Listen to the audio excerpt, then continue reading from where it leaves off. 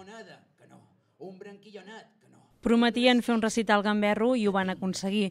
La comèdia, la reivindicació i la sensualitat van fer una barreja poètica perfecta per acomiadar el PAM, el Festival Poesia a Manta. La nit al Tarambana va arrencar amb els crits del primer rapsoda per donar pas als xiu-xiuejos, als silencis tensos i a les rialles. Les sis veus noms molt potents de l'escena poètica catalana, Josep Pedrals, Maria Antònia Massanet, Pau Badell, Anna Aguilar Amat, Jaume Pons a l'Horda i Pau Gené.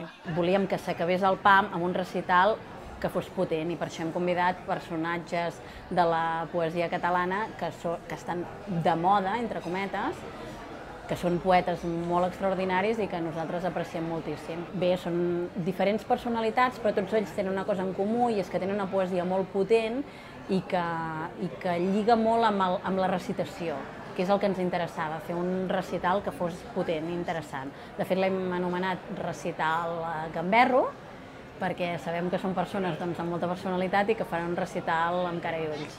Què cony tens aquí? I la nena, amb un to més suau, xiu-xiuejant, dolcíssima, diu, vine, vine, vine.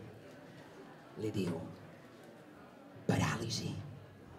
Jocs de paraules que busquen la sonoritat més enllà del significat o versos que acaben sent música i humor. El PAM ha arribat a la fi amb un recital de personalitats molt diverses en una nit que podria semblar la festa del vers per gamberros i per complicitat.